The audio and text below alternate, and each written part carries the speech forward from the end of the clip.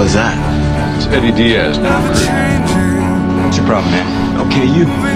My problem. We might end up real close. Went back any day. Or, you know, you could nab my. Got a kid? Christopher. Seven. Horrible. Hey, I love kids.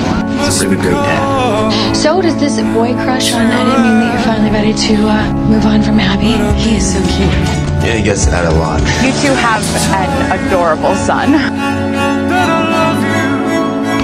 Things are finally getting back to the way they should be. Almost.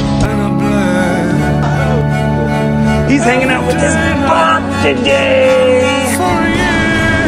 Hey, Buck, it's me. Good thing you're missing it. You guys are having fun. There's nobody in this world I trust in my son more than you. Thank you. Not giving You know how much Christopher misses you? How could you? You're not around. I just want you to talk to him. Whatever it takes for you to forgive me, I forgive you.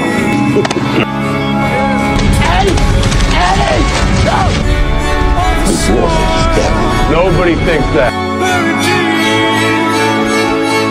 It's gonna be you and me.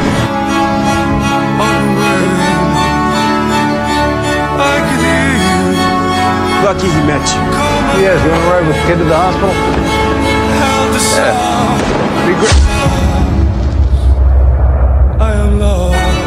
Yeah. Just stay with me, okay?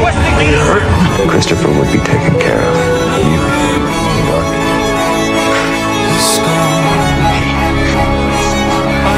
You need to tell me if something is wrong. It was a panic attack.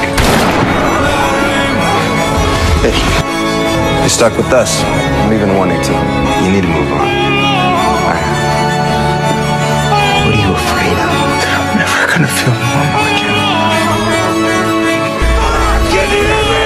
So now am I allowed to ask how you are? Honestly, Eddie, I don't know. I'm back to the world of the living, bro.